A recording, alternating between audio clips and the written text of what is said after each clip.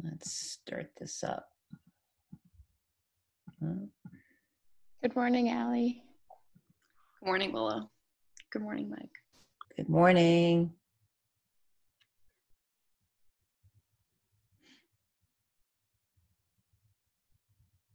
Oop.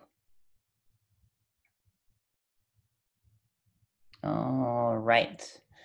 Um, okay. Get everything located here. Um, there. Okay. Uh, good morning, everybody. Uh, we're going to uh, mostly finish up Fourier series. We might have a little bit left over on um, Monday.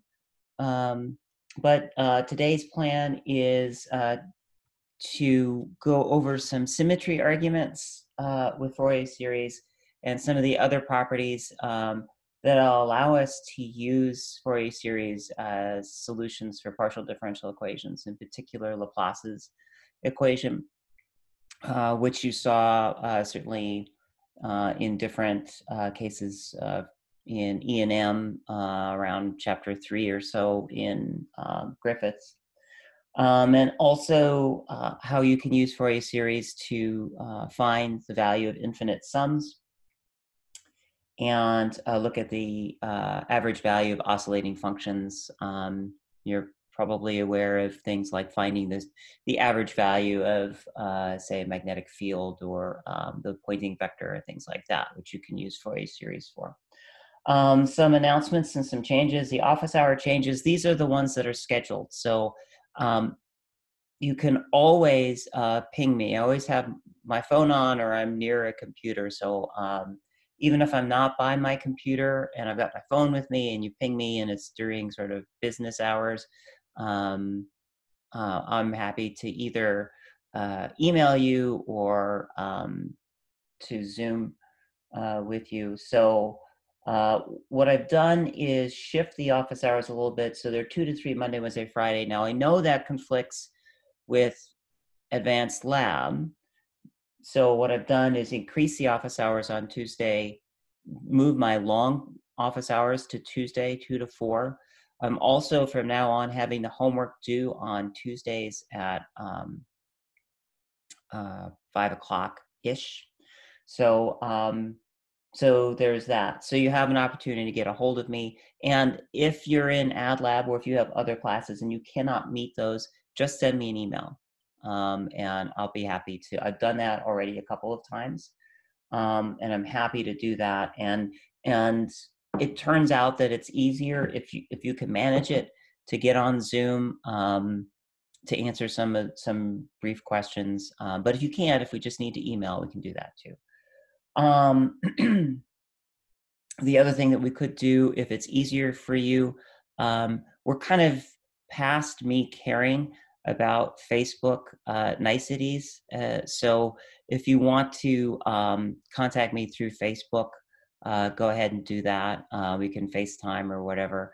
I'm, yeah, I, I I had a number of you as friends on Facebook, and then I I purged my Facebook friends list because I was leaving Facebook and now um, it's the only way that I can actually connect with people. So uh, I'm happy to bring y'all back. Aren't I awesome? I'm going to clip this video part out so that nobody sees that. So this we're all good. The other thing is um, you don't have to, obviously. Um, the other thing is your midterm, your first midterm is a week from today. Um, I'm still writing it, um, but what I am planning on doing is having it be four questions and you can choose three, something like that. Um, it'll cover all the first three um, uh, problem sets. So there'll um, definitely be coverage of infinite series, so convergence of infinite series, um, complex analysis, so be able to do Laurent expansions, use the Cauchy integral theorem, uh, calculate residues, things like that and then some question on Fourier series that'll be similar to the stuff that's in the homework. And if you look at the homework, there's only, I think, four five, five questions in the homework on Fourier series. I think it's because we've kind of seen this stuff before and we're just trying to expand it. Are there any questions before we start? Okay. Um, let's get going then. Uh, so what I wanted to start today with were symmetries. So far, we've only talked about um, periodic functions on a particular interval, say minus pi to pi. That's not always uh, convenient. Um, so for example, we have, um, we can start with our symmetry arguments. Uh, usually we look from minus pi to pi, but sometimes zero to two pi, and we know, and uh, I do want to correct a typo from uh, last time. I think I had the sum go from n equals zero, so it should be from n equals one in the A um, expansion. So a and a sub n cosine and x. Um, this is what f of x is equal to if f of x is even on that interval, right? We know that if just from symmetry, um, if f of x is even on the interval from minus pi to pi, uh, that we only have to worry about the cosine. Um, otherwise, it's equal to the sine um, expansion.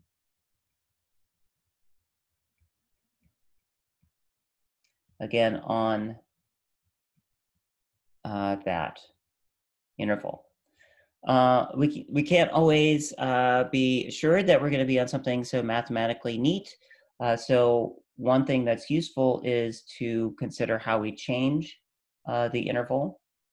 And we'll see a couple of examples of that. Well, let's first start with the most straightforward one. That is that, let's say that this is a function that's um, periodic.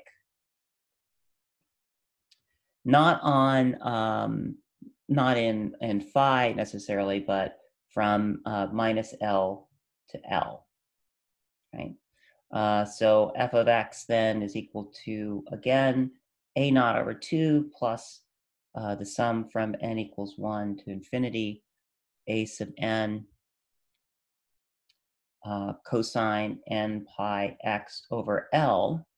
Right, so now uh, we are um, normalizing it to this L plus RB series or sine series, sine of n pi x over L.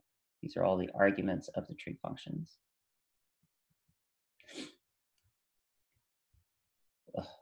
uh, with uh, the usual definition. So with uh, a sub n equal to uh, basically 2 over the interval, right? So 1 over L times the integral from minus L to L of, say, f of t times cosine of n pi t over L dt. And b sub n uh, is equal to 1 over L times the interval from minus L to f of t sine of n pi t over L dt. Um, and again, that's what you would do if this is periodic on the interval of the, the interval minus L to L.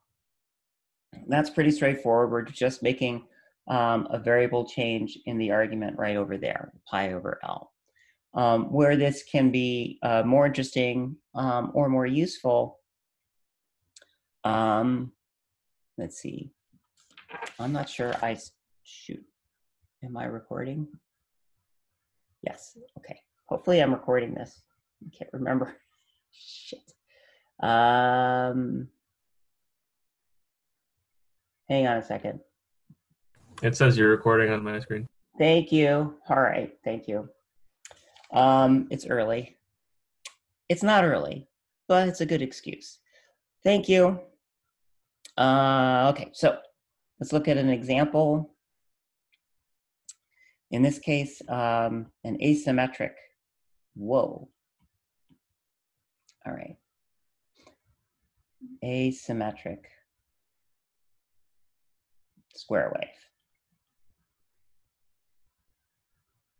So what do we mean by that? Um, well, let's consider um, a function that has a square pulse from 0 to 1 and then is equal to 0 out to 2L.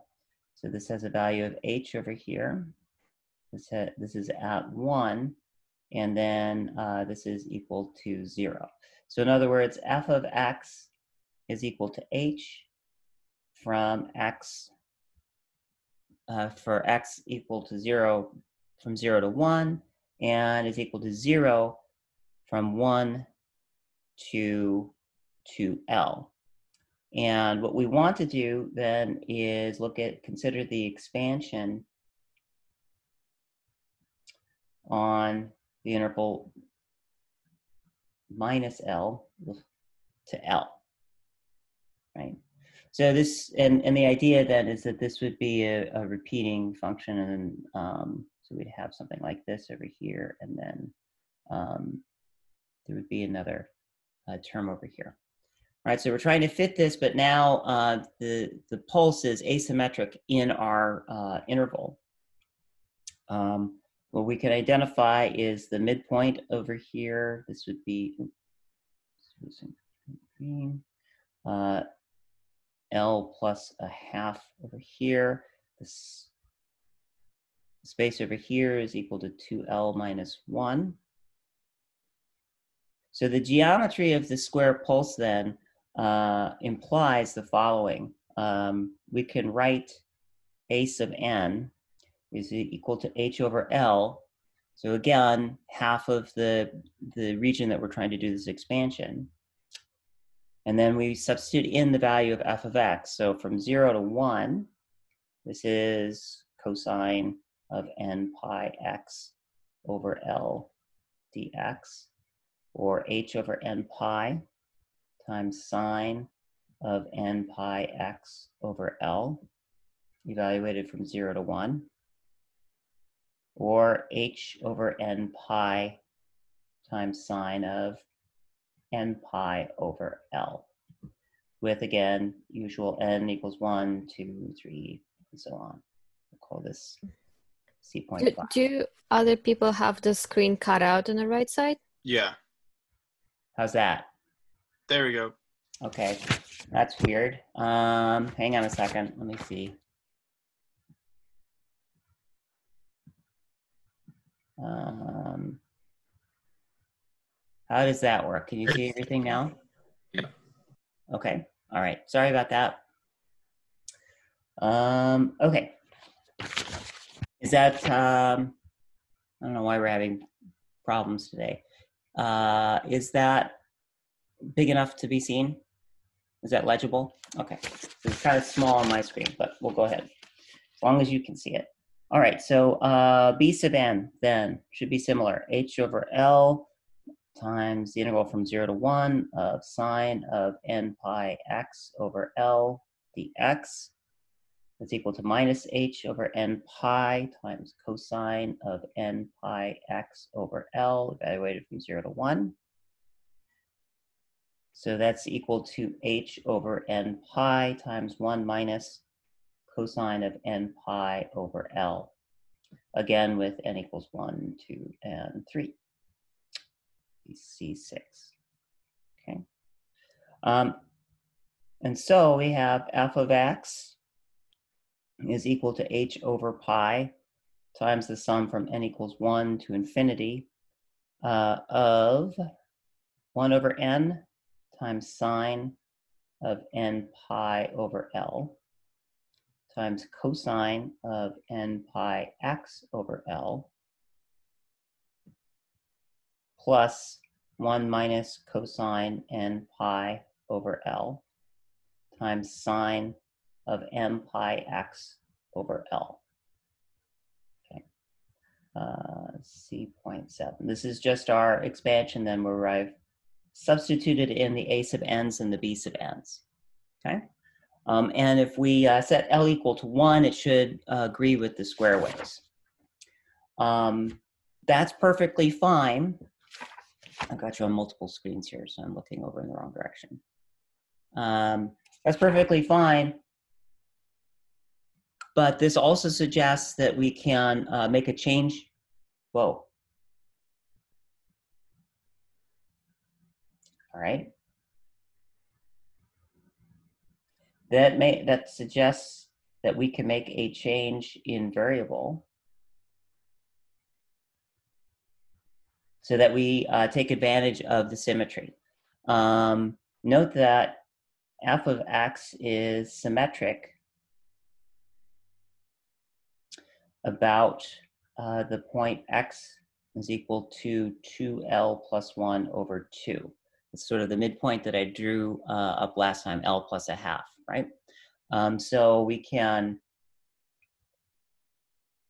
let squiggle be equal to x minus 2l plus 1 over 2. In other words, x is shifted by an amount L plus a half. Um, this allows us to create a pure cosine series, which is what we would get, which is what we would ordinarily um, consider for a square wave. Um, in that case, we would get, I'll, I'll, use a capital AN in this case, uh, H over L um, evaluated from L minus a half to L plus a half since we're shifting everything so that we have this purely um, periodic, uh, evenly distributed uh, symmetric um, pulse or wave, cosine of n pi squiggle over L d squiggle, and that's equal to h over n pi sine of n pi squiggle over L. All of this is, that's an L. All of this is evaluated from L minus a half to L plus a half. And uh, further, this is equal to h over n pi times sine of, make sure I get all this right, n pi over times 2l plus 1 over 2L minus sine of n pi 2L minus 1 over 2L. Or if we combine terms, um, this is equal to minus 1 to the n times 2h over n pi times sine of n pi over 2L. And because of the symmetry, you can show that the b sub n terms are equal to zero now that we've done this shift. And as a result, we should get something that looks like what we did last time, namely f of x is equal to 2h over pi times the sum from one, n equals 1 to infinity of minus 1 to the n over n times sine of n pi over 2l times now the cosine argument of this shifted x. So it's cosine of n pi times x minus l minus a half over l.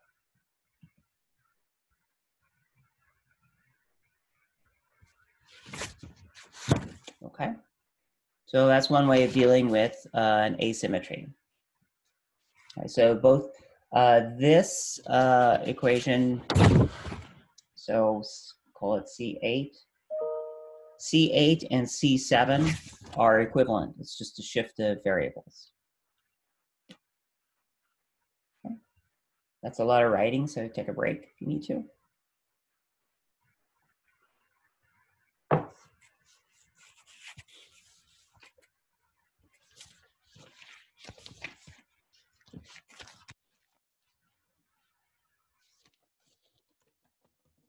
We ready?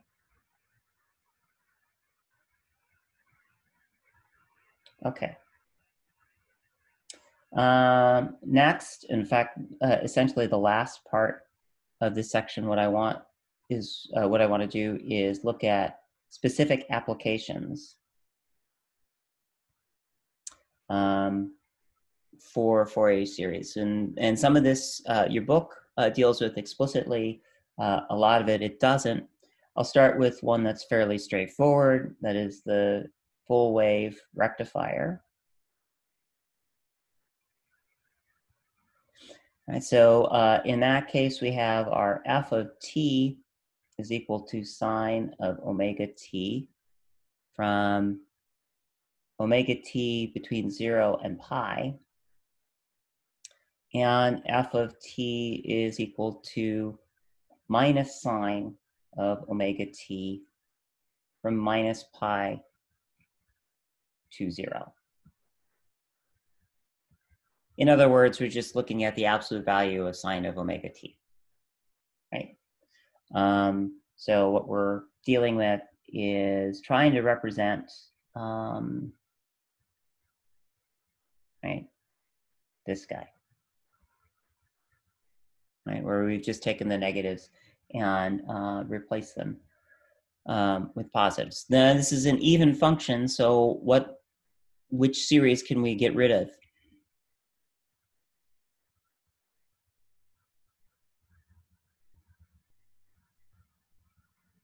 So it's even on minus pi to pi, right?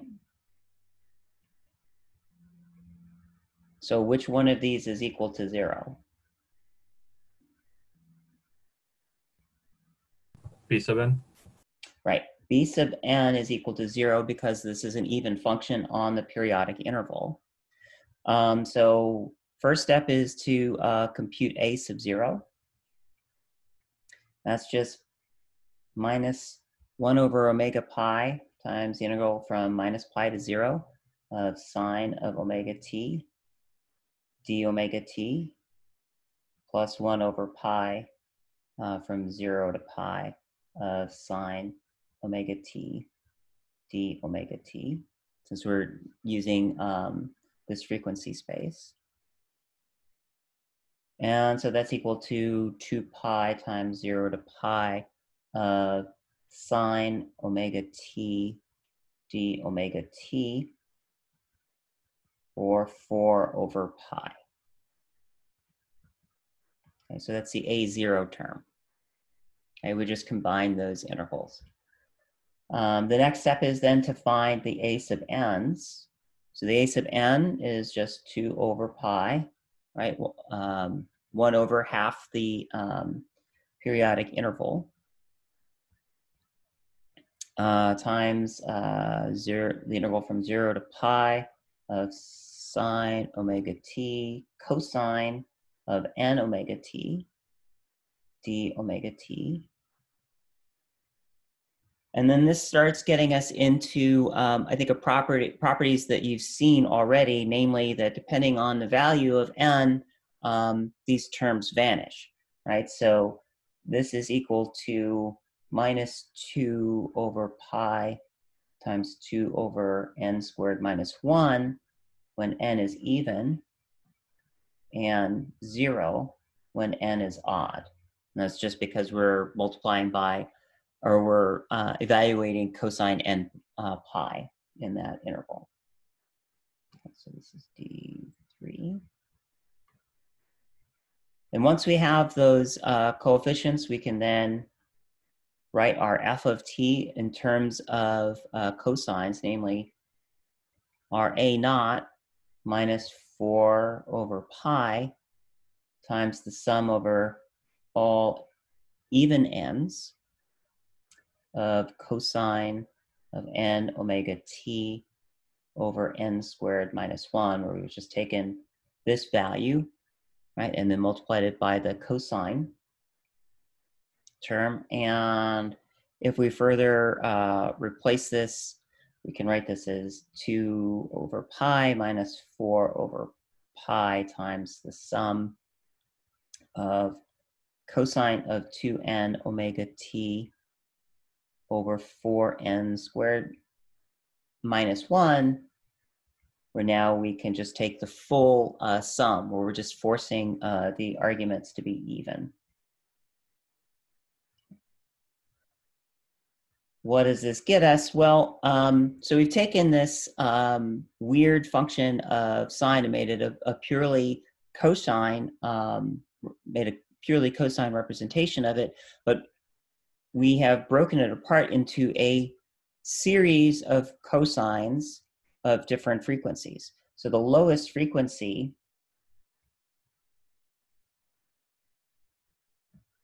is actually 2 omega, right?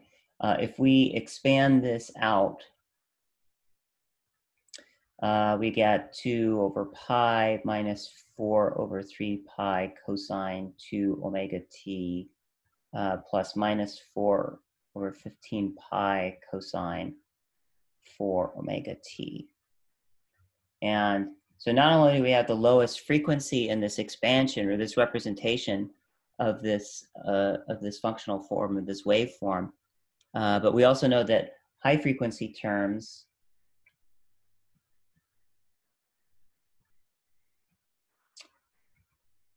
fall as n to the minus 2 as they drop away pretty quickly. okay. So I'm, well, I'm not sure. Did you see, do anything like this in electronics? No? Okay. Well, here's an example that might apply to electronics. Maybe. I don't know. I don't teach electronics, so I don't know. Okay, leave that there. Uh, one thing that I do know that you have seen, although it may have been a while, is uh, solution for a Laplace equation. And in particular, let's consider a long uh, cylindrical pipe that's held at two different, uh, and it's hollow, and it's held at two different uh, potentials, right? So we look at the cross section. We will hold this at plus V, a constant, and we'll hold the bottom uh, hemisphere or hemi-cam, I guess, hemi-cylinder, whatever, uh, to minus V. Right? And so we want to know uh, what V of our phi is in cylindrical coordinates.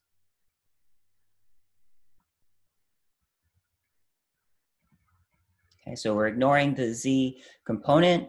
Um, that means that we have to go to our um, memory bank and recall what Laplace's equation is in cylindrical coordinates. Who wants to help me out here?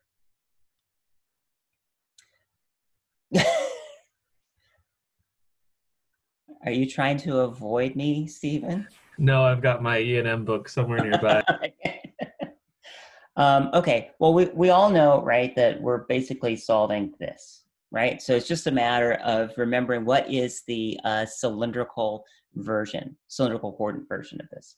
Um, and uh, just to refresh your memory, it's 1 over r, if we're using r's instead of rows, uh, d dr of r dv dr, right? So that's the r term, plus 1 over r squared d squared v d phi squared, right, equals v, capital V, right? Um, and then we would have a z term there. And the and the one of the ways that you know that this works, right, is that the um, the dimensional analysis ought to work, right? It's a potential divided, has units of potential divided by uh, length squared, right? Which is why we have to have that one over r squared in the phi term. Okay, so um, how do we go? What's this? The prescription for solving Laplace's equation that you did in E and M. What do we call that?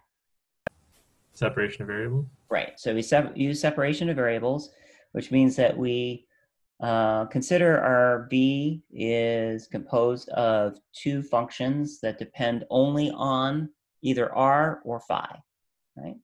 Um, that means that um, Laplace's equation dv squared v is equal to little r over r d dr times r dr dr r dr dr plus 1 over phi d squared phi d phi squared and set that equal to zero, right? And the way, just to remind you of how we got there, is that you substitute in uh, this into um, this, right? And since uh, each term only depends on one one of the variables, you can separate all that out. Um, this, as far as uh, the right part of this is concerned, is a constant, right? In other words, it's a constant in phi. And this term is a, let's call C2, is a constant in R, right? So we can move them to the other side and then start solving them. Um, we'll do the, so actually we can just write this out. If you are judicious um, and think through the nature of your solutions, right? We know that uh, phi has to be periodic, right? We know that at little r equals r, right, v has to be equal to the boundary conditions, uh, which means that it has to flip sign as you go from zero to pi and then pi to, my, to 2 pi. So that means that um, this equation has to be equal to a negative constant, right? Um, so when we expand it out, that means that we can set this equal to some constant a times cosine, we'll call it k of phi, plus b sine k of phi. Whereas r, and of course I'm implicitly putting that dependence in there. What, uh, what are the possibilities for the radial solution? Anybody remember? It's a linear combination. The C e to the positive i k r plus d e to the negative i k r. Uh, almost. The once you put the i's in there, you end up with the with the periodic stuff again. So with with the with the cylindrical coordinates that we've established here, we do have two different cases. One is um, r to the k and dr to the minus k, right? So those are our two general solutions. Um, we know that d is has to be equal to zero. Why?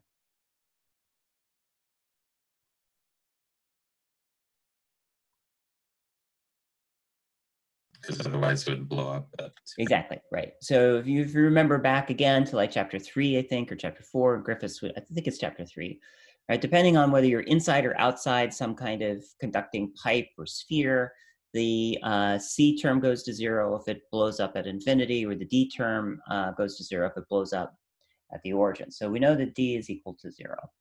Um, so we can write that V is equal to the sum uh, from k equals 1 to infinity of, we'll call this c sub k, r to the k times a k cosine k phi plus b k sine k phi.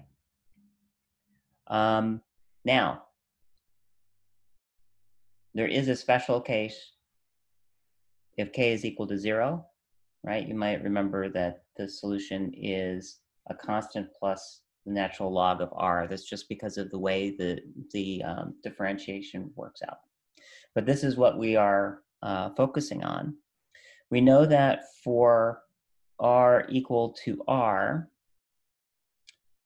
v has to be equal to our boundary condition. Um, so we know that it has to be v uh, plus v and minus v appropriately. Uh, we also know um, one other thing, right? So what uh, what do we know about v as a function on this interval?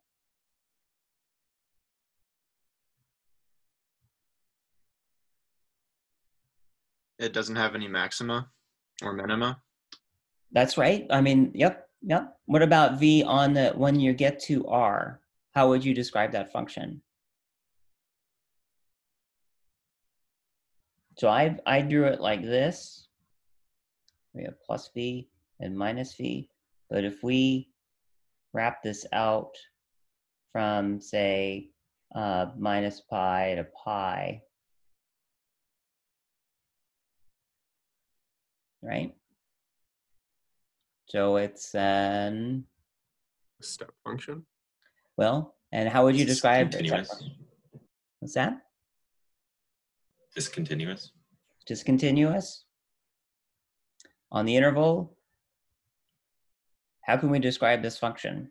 Just mathematically, apart from discontinuous? Yes. When we do Fourier series, we're interested in two kinds of functions, generally speaking, because then we can get rid of one of the um, expansions. Symmetrical. So what, how, is it symmetrical? Odd. Odd, thank you. Yes, it's an odd function. All right. So um so let's look so at, at r equals r, um, we know that um let's see, v of r phi uh, for phi uh, less than pi from 0 to pi is equal to the sum over k of a sub k cosine k phi plus the sum over k of bk sine k phi, and that has to be equal to plus v for phi uh, that's between uh, between pi and 2 pi. We know that um, this is basically the same thing, but equal to minus v. And from all of this, because the function is odd, we know that v is equal to uh, v times v sub k times sine of k phi. If it were even, then we would keep the a terms. It's not, so we're keeping the odd terms. Uh, here we're defining a sub k is equal to ck ak r to the k, right? It's just a big constant. Everybody with me? Um, okay, so that means we need to find out what b sub k is. b sub k is just the integral from 1 over pi, or 1 over pi times the integral of 0 to pi of v, that function, times sine of ky, uh, or k phi, sorry, d phi, minus 1 over pi times the integral from pi to 2 pi of v of sine of k phi d phi, um, which we can combine and you can show is 2v over k pi times minus cosine of k phi, evaluated from 0 to pi. So that's 2v over k pi times 1 minus cosine of k pi. And that equals 4v over k pi for k odd and 0 for k even. All right, so we now have our b's. Um, we have our original expression uh, for the potential using Laplace's equation.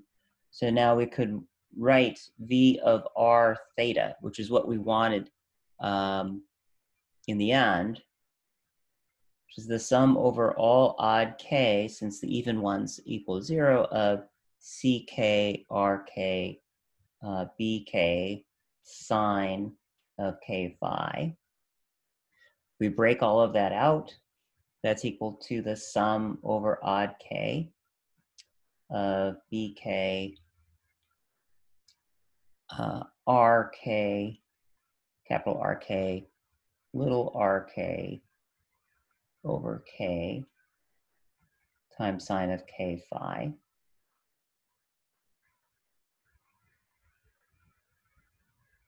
And that's equal to 4v over pi times the sum over odd k of, and this is the reason why we wrote it this way, so it's so that it's normalized little r over r to the k times sine of k phi over k. And if you wanted to, you could uh, collapse this into uh, a sum overall n. You would just replace um, odd k with 2n plus 1, right? Then all you would do is just, uh, then this summation ends up being overall n, and the arguments for k would become 2n plus 1. Okay? So for um, this somewhat classical problem of having two ends of a pipe with an insulating layer between that are held at two different potentials gives us this um, radial dependence, but also this azimuthal dependence that is um, odd. and um, if you like, I can do another example um, offline, uh, but I also would recommend if you have Griffiths with you um, to look at uh, chapter three for examples of that. They also do it in spherical um, coordinates as well.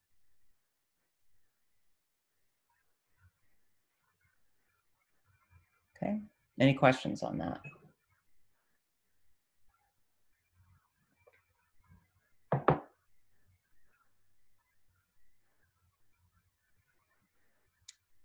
Okay. All right. How about another uh, application that gets us back to the first week? Infinite series. One of the uses of Fourier series that your book only touches lightly on is that you can use them to, um, because they have integrals based um, in their evaluation, and because they have sums in them, to evaluate um, series. So, for example, let's consider the function f of x equals x squared on the interval minus pi to pi, right? So we're just looking at this thing. Right? And just treating this as uh, something that we would want to do for a uh, decomposition of. Um, all right, so what do we know about A's and B's? Which one goes away?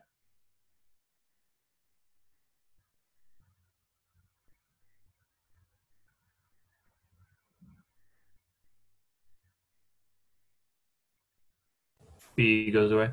Right. This is an even function, so b sub n is equal to zero, right? Um, so a sub zero is equal to one over pi times the integral from minus pi to pi of x squared cosine nx dx. That's equal to 2 over pi times minus 1 to the n times 2 pi over n squared, or minus 1 to the n times 4 over n squared. And then a sub n, oh, wait a minute, that was a sub n. Sorry. Skip a line. Let's go back. a sub 0 um, is equal to 2 pi squared over 3. That's a pretty straightforward. Um, that's just integrating 1 over x squared. Okay. Um, that means that you can write x squared as um, 1 half over, or times 2 pi squared over 3 plus 4 times the sum of minus 1 to the n cosine of nx over n squared. Now that may not seem like we're doing anything in particular, but let's let now x be equal to pi. That means that cosine of nx becomes cosine of n pi. And how might we write that? As n increases or changes value, what is that going to be equal to? One or negative one. Yeah, so we can write that as minus 1 to the n, so it'll flip back and forth. So now we go back up here, and we have pi squared is equal to pi squared over 3 plus 4 times the sum from n equals 1 to infinity of 1 over n squared, or pi squared over 6 is equal to the sum from n equals 1 to infinity of 1 over n squared. And this is the Riemann uh, Zeeman function, or zeta function.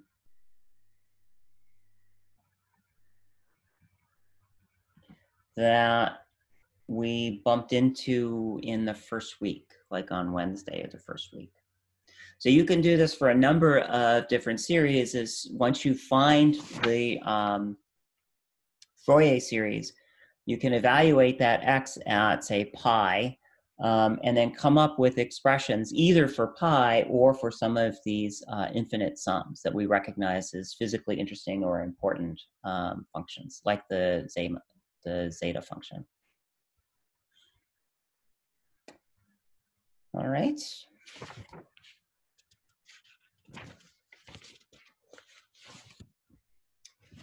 Um, okay. Last bit on this. I'm kind of skipping around in my notes.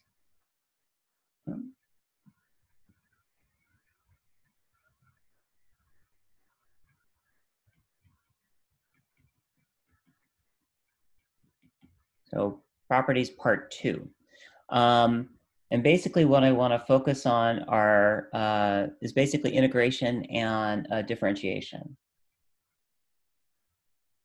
So in other words, what happens when you uh, integrate a Fourier series, right? So consider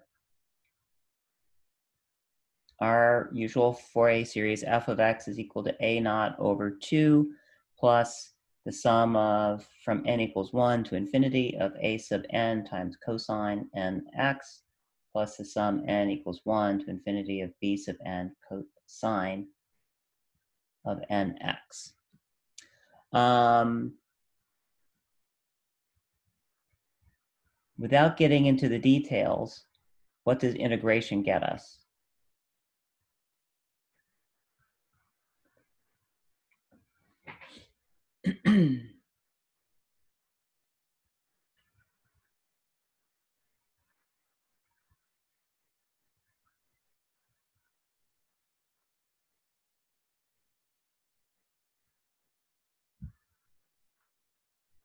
so clearly, if we integrate this, we get another Fourier series. But what's different about this Fourier series than the previous Fourier series?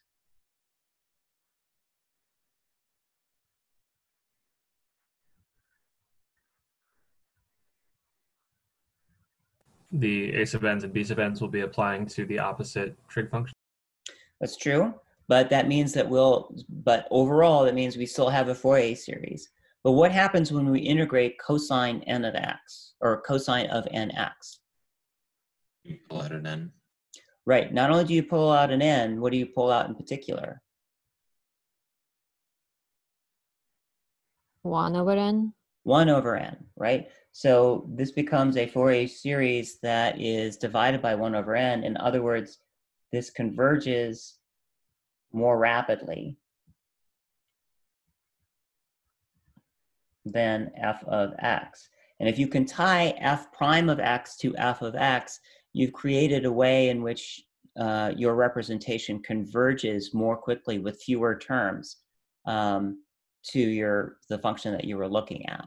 Right. So integration makes this uh, happen more quickly. You can guess. What about differentiation? Uh, I don't know why I put a prime there. Sorry. There. Differentiation. Right?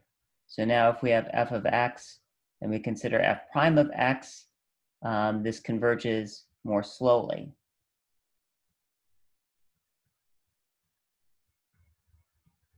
Because we have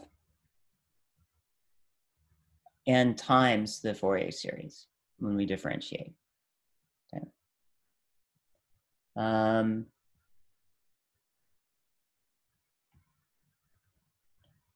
the last thing that I want to mention before we break out is Parseval's theorem.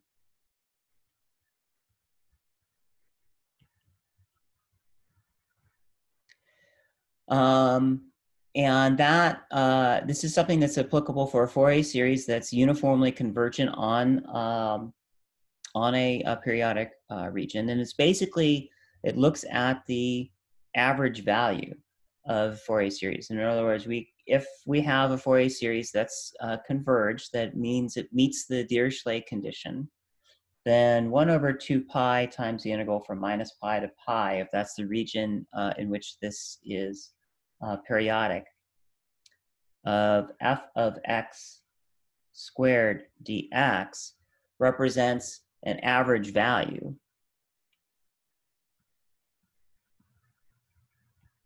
uh, in some sense of f of x squared. And the nice thing about this is that when you do these average values for an oscillating function, you get numbers, right?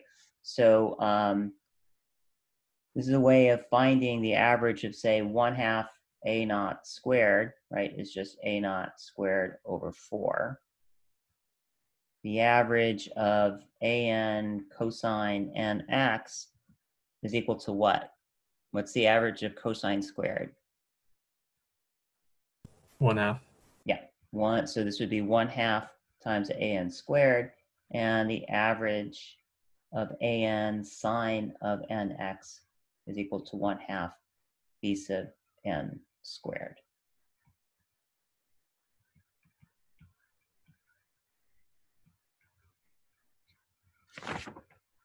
Um, so what that means is if we look at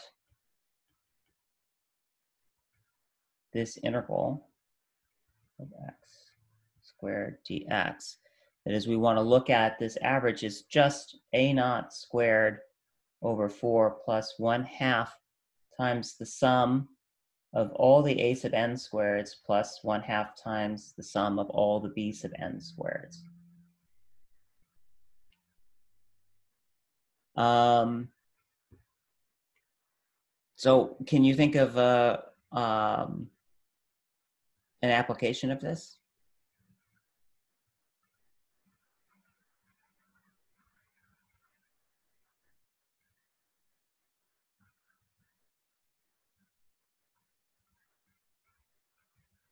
It would apply to like probability distributions. Yeah, you could do that. Um, certainly, uh, anytime you have basically a, a, wave function, you're trying to find that average value. Um, so uh, you absolutely, uh, actually, hadn't thought of that, but that that's true. What I was thinking of was uh, things like um, flux, um, and say uh, the um, intensity for E and M waves. Um, so the energy, uh, you know, when you look at B squared, um, instead of if you consider the the wave function uh, for an electromagnetic wave, um, and you need to find, say, the the pressure term, that's going to be B squared over A pi squared, depending on the units that you're using. Um, it's basically the total energy of these waves is equal to the sum of the energies that's associated with all of these harmonics, in other words. Okay. Um, all right. I need to move this over here. And I need to find my control screen. Uh, here we are. Uh, what I'd like to do is to try and, and uh, break this out. So what I think I'll do is, um, oh, here we go. Uh, more breakout rooms. Um,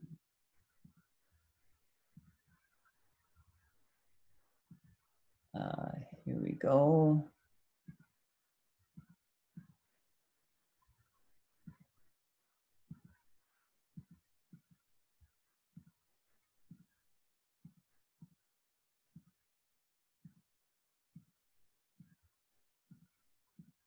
Okay, um, you should be heading to your rooms to talk about your reflections.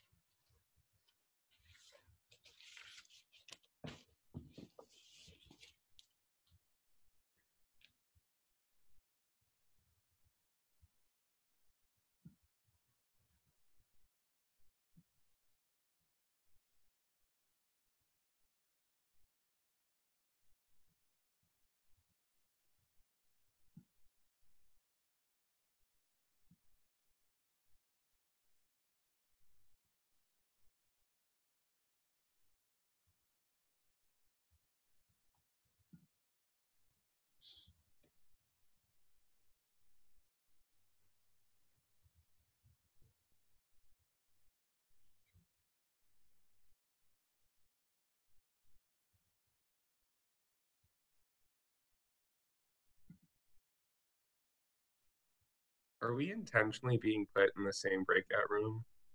Not on purpose. Did you do that? Did that happen again? Again, yeah. All right. well, I'll be more attentive. It must be.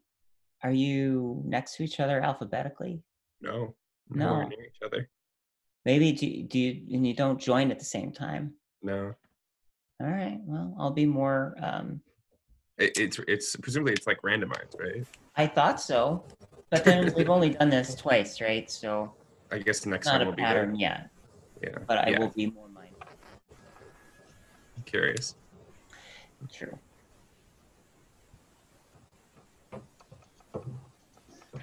Okay.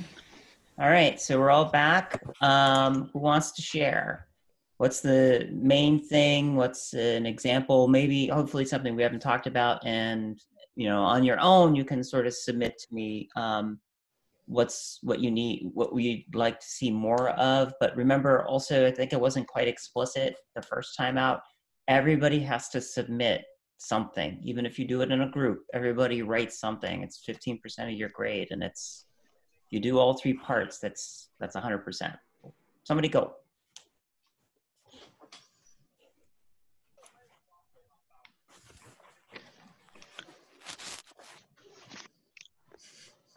um, uh, Stephen and I talked about how it's really awesome how we can make non-continuous functions continuous. Um, and that just allows us to do a lot of other things with them that we wouldn't otherwise like we couldn't integrate them and differentiate them now okay like we wouldn't necessarily be able to do that earlier okay cool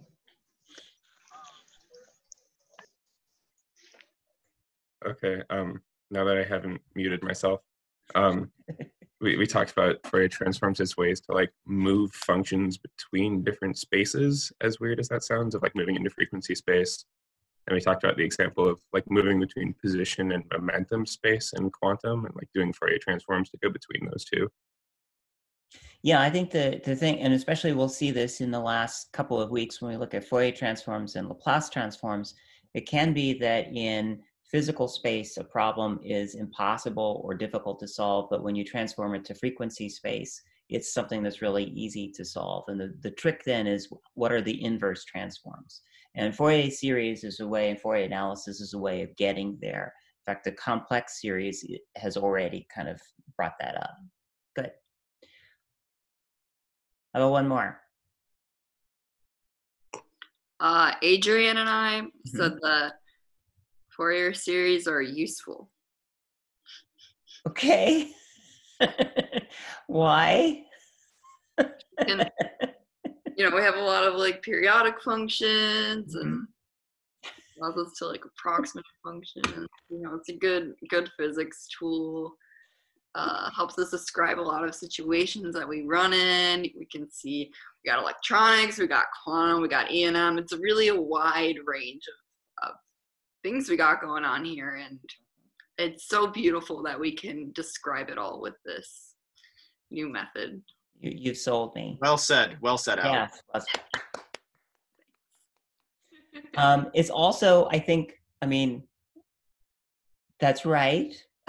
I think it's hard to argue, but it's also really nice if you think about it that what we're dealing with are fairly elemental um, functions that are easily integratable and easily differentiable.